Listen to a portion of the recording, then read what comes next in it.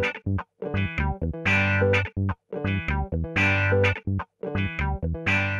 วัสดีค่ะคุณผู้ชมวันนี้นะคะเชฟก็จะพาคุณผู้ชมนะคะ มาทำอาหารอีสานรสจัดกันค่ะ และนั่นก็คือเมนูลาบหมูค่ะ เดี๋ยวเราจะมาดูส่วนผสมนะคะว่ามีอะไรบ้างค่ะ ส่วนผสมอย่างแรกนะคะ หนังหมูต้มค่ะ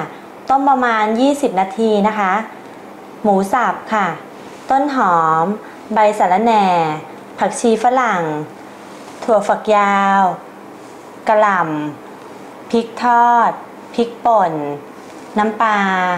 มะนาว หอมแดงซอยข้าวคั่วและน้ำตาลค่ะ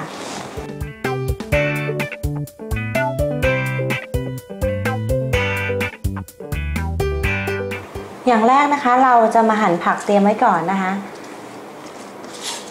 ไม่เอารากนะคะ หั่นรากทิ้งได้เลย ต้นหอมนะคะ หั่นท่อนกับผักชีฝรั่งนะคะ เสร็จแล้วนะคะก็จะมาเด็ดใบมิ้นท์นะคะ หรือใบสะระแหน่นั่นเองนะคะ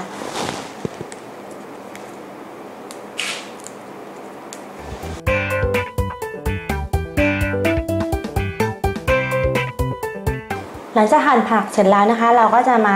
หั่นหนังหมูกันนะคะ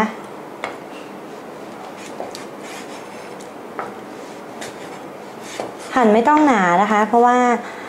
ไม่งั้นจะเคี้ยวยากนะคะ เวลาเราไปทำลาบ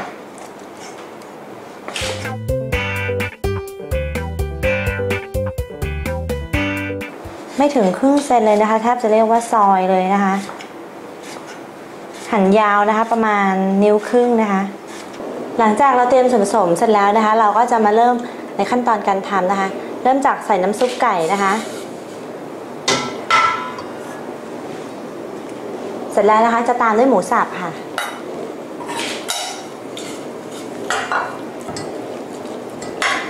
น้ำซุปนี่ใส่พอให้คลุกคลิกก็พอนะคะ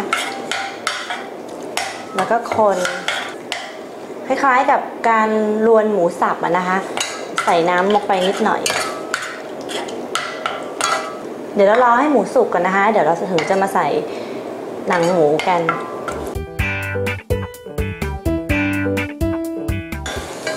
ตอนนี้นะคะหมูสุกเรียบร้อยแล้วนะคะ เราก็จะมาใส่หนังหมูกันค่ะ คนให้เข้ากันนะคะ เสร็จแล้วปิดแก๊สค่ะ ตามด้วยพริกไทยป่นค่ะ น้ำปลาค่ะ ข้าวคั่วค่ะ น้ำตาลทรายนิดหน่อยนะคะ เพราะว่าเราจะไม่หวานนำนะคะเสร็จแล้วคนนิดหน่อยคลุกเคล้าเครื่องปรุงทั้งหมดนะคะให้เข้ากันกับเนื้อหมูนะคะ เสร็จแล้วตามด้วยน้ำมะนาวค่ะ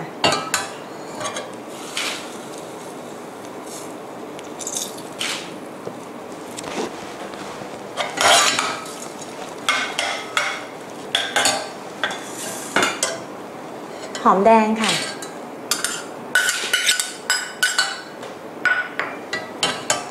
ใบสะระแหน่นะคะ ต้นหอมซอย และผักชีฝรั่งนะคะแค่นี้ก็เสร็จเรียบร้อยแล้วง่ายนะคะ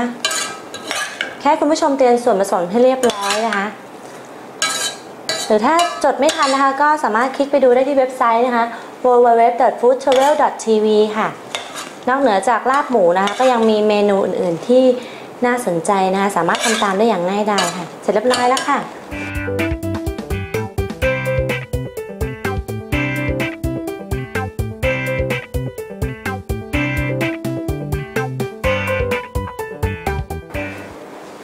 เสร็จเรียบร้อยแล้วนะคะสำหรับลาบหมูนะคะ ทีนี้ก็มาถึงขั้นตอนการเสิร์ฟนะคะ